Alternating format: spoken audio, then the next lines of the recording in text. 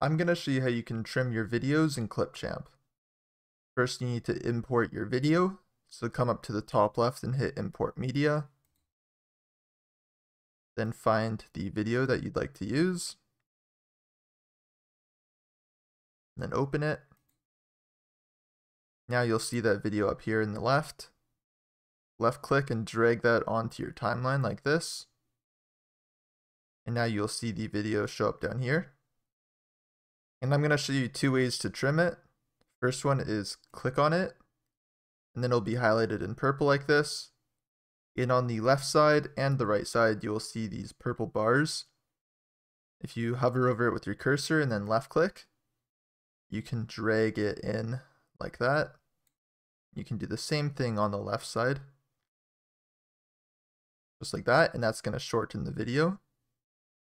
Another way to do it is to drag the playhead to a specific spot where you want the video to cut off.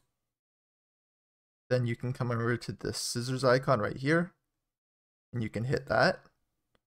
Or you could just hit S on your keyboard instead. And then that's going to split the video into two separate parts. Then you just have to select the one and to hit the backspace on your keyboard. And that will delete that part of the video and then you would also just have to do that at the beginning like that. You could also trim your video that way.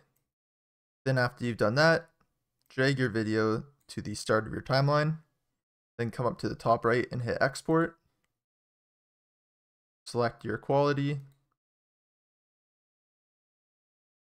And then that is going to download your video after this is done exporting.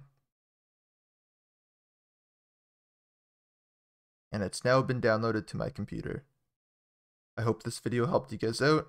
Please remember to like and subscribe.